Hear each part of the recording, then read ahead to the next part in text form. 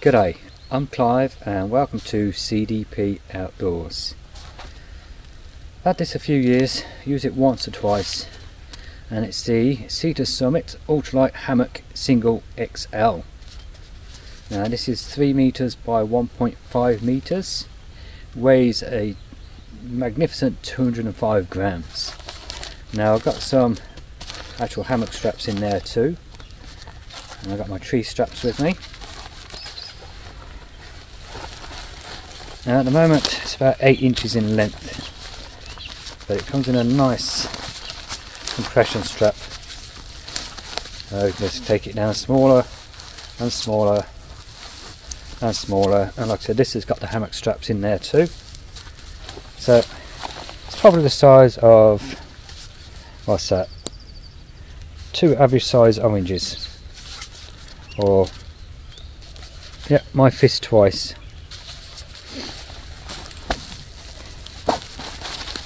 Now what I like about this is the same as the Pro version. The compression strap, you've got the actual buckle from the hammock coming out there. And these are aluminium buckles to make it nice and light. The other end is closed off. But if we do open this all the way, put that way round, where is it? There it is. In actual top of it, we've got small repair patches so which is handy. The actual hammock itself. I believe is a 20D monofilament they call it so it's really super lightweight. There's my hammock straps. Put them in there for now. Now you can see through this hammock with the actual material it's made out of. So really it's not, well they say it's not a winter one, but if you've got a good underquilt, you could use it in the winter if you want to. I have added, added should I say, added a ridge line on it, a structural one, which I made myself. So when I put it up, you'll see it's a lot easier just to hook it up, tighter end, and it's set at the right angle. So Let's take them patches and put them in the pocket out of the way first. Now I did bring the tree straps with me, like I said. So looking at this,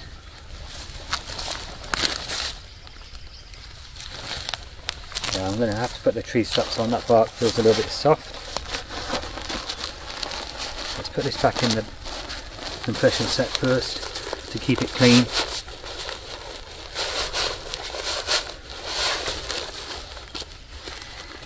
Now this material it's made out of is slippy.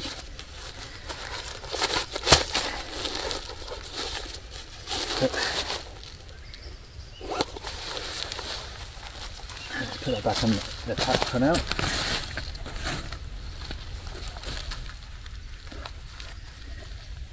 Now if you're going to use trees where the bark isn't a hard bark, this is quite spongy and soft, using the tree straps or the tree protectors is really a must. We need to look after nature and make sure we don't damage any of the trees.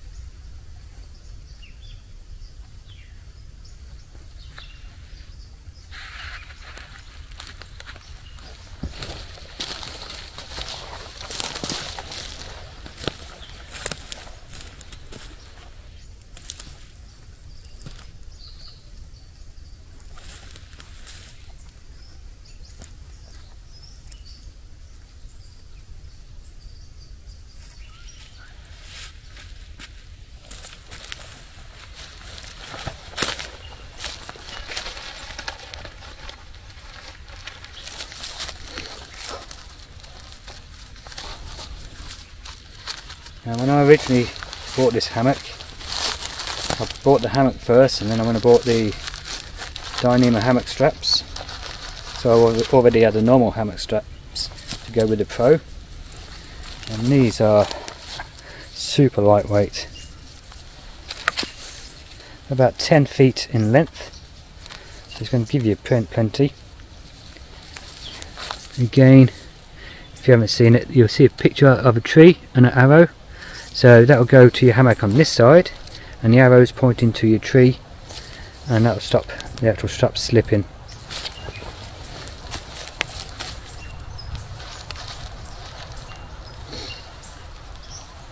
And the buckle on the tree straps or the tree protectors actually comes through here, turns and locks into place just there with the strap coming through here. So it's going to be nice and secure.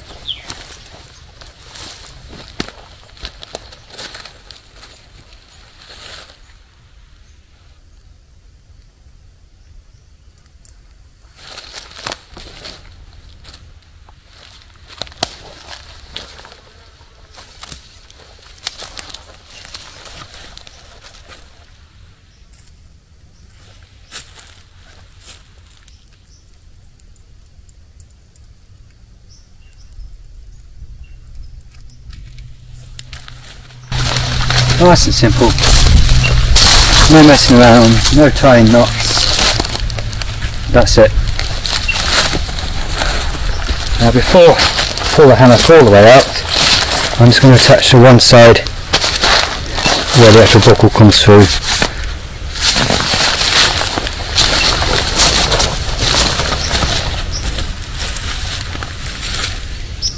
Again making sure once it's come through here the arrow is pointing towards a tree on top of the strap, not underneath.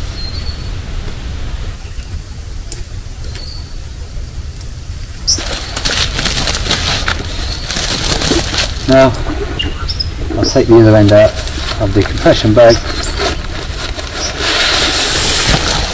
and it doesn't have to lay on the ground.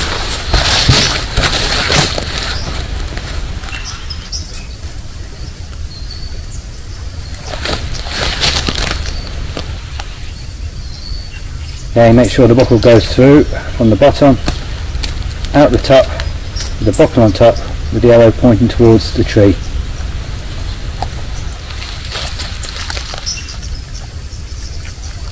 Now these ones are a bit stiffer than the normal ones,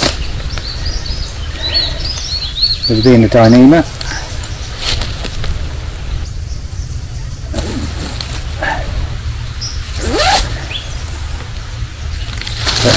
Nice and simple. Is it nice and easy and quick putting it up? But like I said, 3 metres in length, which is 10 foot, by 1.5 wide, which is your 5 feet. You might pull that end up a little bit tighter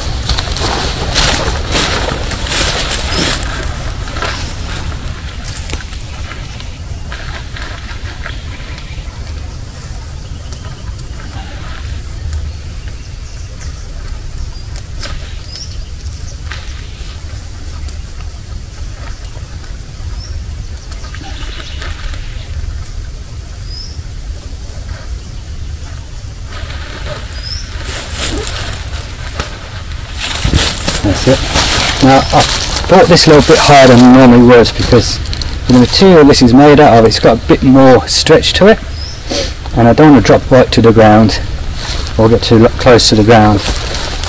So do this and now you can see how far it has stretched to the ground and it's just the right height for my feet to sit on the ground. Now this is we've been a, a little bit stretchier material sitting this way or laying back this way just looking up at the clouds going by nice and comfortable. And there's the structural ridge line. And again because it's a shorter hammock normally my head would be touching that but because of the stretch to this the ridge line is a lot higher up and if you've never used a hammock before the best way to lay one to get the flattest is diagonal. So my head will go this side for example and my feet will go the opposite side. Now you can choose either way in this one, you put your head here or your feet there, it, it doesn't matter, it's whatever you prefer.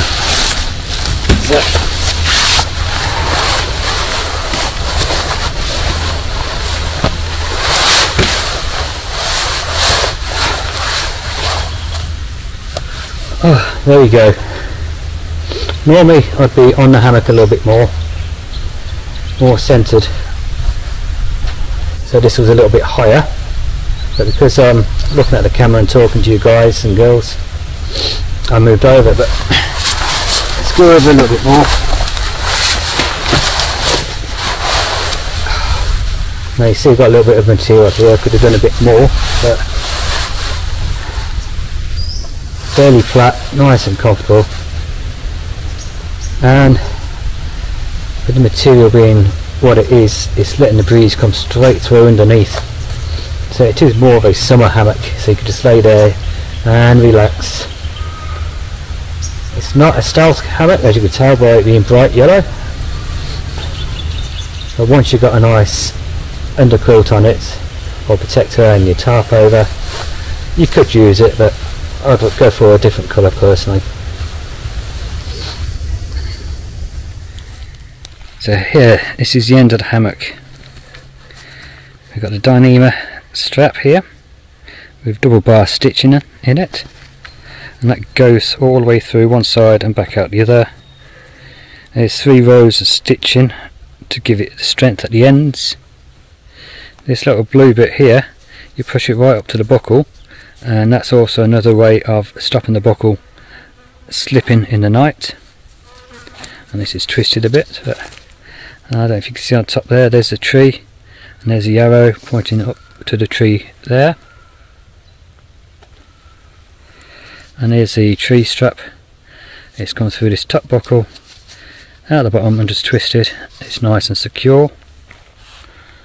And there's the ridge line I put on it so there's your sword, didn't have to mess around adjusting either end.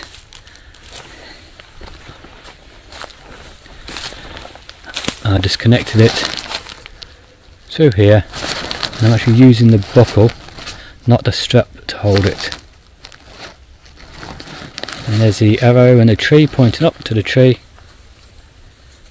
and there's the other buckle there. And these are about a 50mm 2 inch tree straps this is about 12 and a half 15 mil in width. Adds very little weight to the actual pack itself. So that's it.